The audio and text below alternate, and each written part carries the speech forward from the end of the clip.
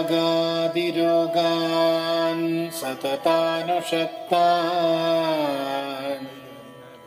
अशेषगाय प्रसृतानशेषान्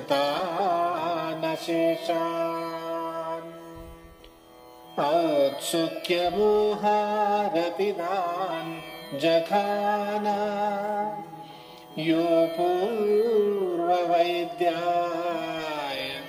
नमोऽस्तु तस्मै